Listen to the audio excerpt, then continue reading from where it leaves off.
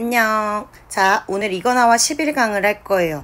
어, 간지나게 태블릿으로 해보려고 하니까, 어, 해볼, 해볼게요. 자, 그리고 이거 하다가 만약에 이게 더 편하면 계속 이렇게 하고, 그 다음에 이게 좀 불편하다 싶으면 말해주면 칠판 영상으로 대체를 할게요. 자, 이거 나와 11강에서 뭘 할 거냐면요. 지수 방정식과 지수 부등식을 하겠습니다.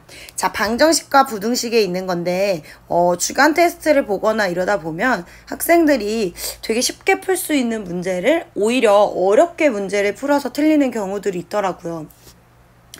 그러면 얘가 무슨 차이가 있냐면 이런 거예요. 지금 여기에서 보면 이 유형은 밑을 같게 만들 수 있는 경우라고 되어 있죠.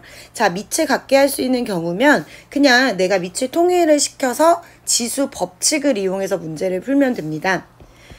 25의 x가 나오면 이걸 내가 5의 x를 t로 치환한 다음에 그냥 t제곱이라고 문제를 풀려고 하는데 그렇게 풀지 않아도 풀 수 있다라는 거예요. 오히려 이렇게 풀면 문제가 조금 더 어려워질 수 있어요.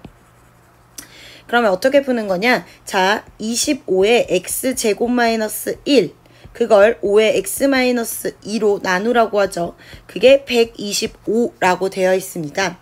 얘네들을 유심히 살펴보면 25와 5와 125라는 숫자는 밑을 다 5로 마, 만들 수 있겠죠? 그래서 내가 밑을 5로 다 바꿔볼게요.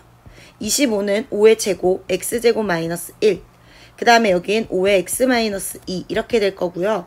125는 5의 3 이런 식으로 될 겁니다. 자 그러면 지수 법칙을 이용해서 2x제곱 마이너스 2 그리고 5의 x 마이너스 2 얘가 5의 3이 된다라는 소리죠. 얘도 지수 법칙을 이용하면 자 얘랑 얘랑 이렇게 나누는 문제가 있으면 우리 지수끼리는 뭐 하기로 했죠? 지수끼리는 빼기로 했었습니다. 그러면 지수끼리 빼면 2x 제곱 마이너스 2에서 x 마이너스 2를 빼는 거죠. 그게 바로 5의 3이 되는 거예요. 그러면 얘는 2x 제곱 마이너스 x 마이너스 2에서 플러스이니까 그냥 이렇게 남고 5의 3 이렇게 됩니다. 그러면 나는 누구랑 누구만 비교해주면 끝나는 문제죠. 즉 이 지수랑 이 지수랑 같다라고 하면 문제는 끝나게 되겠죠. 자, 옆에 와서 풀어줄게요. 2x제곱 마이너스 x가 3이라고 하고 있죠. 그러면 2x제곱 마이너스 x 마이너스 3이 0이니까 여기에서 물어보는 건 모든 실근의 곱을 물어보고 있어요. 그러면 우리가 여기에서 두 개의 실근이 나온다. 2차니까 두 개의 실근이 나올 건데 두 개의 실근을 알파랑 베타라고 하면 그 알파 베타는 근과 개수 간의 관계에서 마이너스 2분의 3 이렇게 풀어줄 수 있겠죠? 그래서 답이 마이너스 2분의 3 이렇게 됩니다. 하지만 저는 근과 개수 간의 관계 쓰지 않고 바로 인수분해 할게요 라고 하면 인수분해 해줘도 돼요. 이렇게 해줘서 마플 이렇게 해주면 되겠죠? 그래서 2x-3 x 플러스 1 이렇게 될 거고 그럼 x가 2분의 3과 마이너스 1 이렇게 될 겁니다. 그래서 얘네들을 곱해주면 뭐다? 마이너스 2분의 3 그래서 답은 마이너스 2분의 3 이렇게 될 겁니다. 그래서 답이 1번이에요. 음.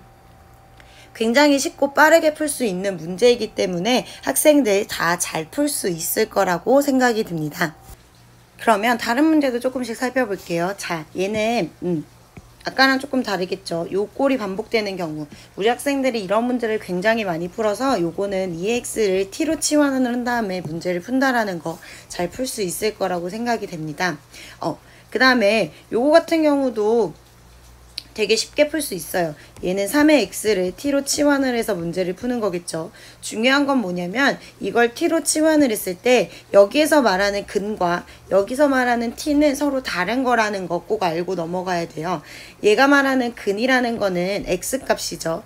즉 3의 x를 t로 치환을 하고 그 다음에 3의 x를 t로 t2로 치환을 한다고 생각을 하는 겁니다.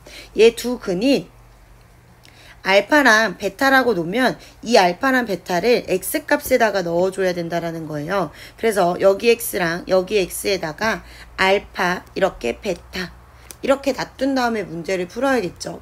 그러면 우리는 두근의 합이라고 했으니까 이 지수끼리 더해지는 모양은 언제 더해지는 모양이 나오는 거예요? t1과 t2가 곱해질 때 이렇게 더해지는 모양이 나온다라는 거. 꼭 알고 있어야 됩니다. 그러면 이제 t로 만약에 내가 이 문제를 바꿨을 때 그게 두근의 곱이랑 관련이 있다라는 거. 이걸 알고 넘어가면 좋아요. 음. 자, 그러면 4번, 5번, 6번도 같이 살펴볼게요. 4번, 5번, 6번은 4번은 단순하게 우리가 오늘 풀었던 1번에서 풀은 거랑 똑같은 방법인데요. 밑을 갖게 할 수 있는 경우입니다. 하지만 얘가 부등식으로 바뀐 거죠. 부등식은 중요한 게 밑 조건이에요. 밑이 1보다 크면 부등호의 방향은 바뀌지 않을 거고요. 증가함수이기 때문에 밑이 0과 1 사이라면 감소함수이기 때문에 부등호의 방향이 바뀔 거예요. 자, 그러면 5번 같은 경우에도 음, 보면 얘 5번 같은 경우에는 우리 2번이랑 비슷하다고 생각을 해주면 되겠죠. 2분의 1의 x를 t로 치환을 한 다음에 문제를 푸는 거고요. 그 다음에 얘도 부등식이기 때문에 얘 밑이 1보다 크냐 아니면 1과 0 사이냐에 따라서 부등호의 방향이 그대로 유지되는지 아니면 바뀌는지 달라진다라는 거 꼭 알고 넘어가야 돼요.